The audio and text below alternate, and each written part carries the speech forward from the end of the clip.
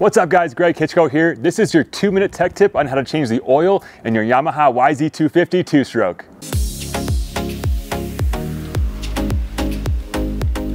First things first, let's gather up some tools. You'll need a drain pan, some rubber gloves, a 12 millimeter socket, a rag, 10W40 oil. For this bike, I recommend using Maxima MTL transmission lube, a Ratio Rite cup, and a funnel.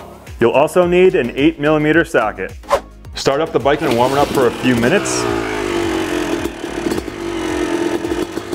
Then slide that drain pan underneath the bike. Then loosen that drain bolt using the 12 millimeter socket. Make sure to remove the filler cap as well. Once the oil is done draining, clean the drain bolt and underneath the engine where the drain bolt goes in. Next step is to go ahead and replace that drain bolt, making sure not to over tighten it or you could risk stripping the threads.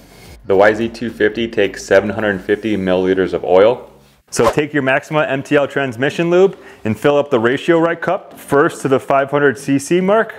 Pour that into the bike using the funnel. Then fill up the Ratio Rite cup to the 250cc mark and use the funnel again to pour that remaining amount into the bike. After you're done filling, go ahead and replace the cap. Next up, we'll confirm the level of the transmission oil. Start up the bike again and warm it up for a few minutes.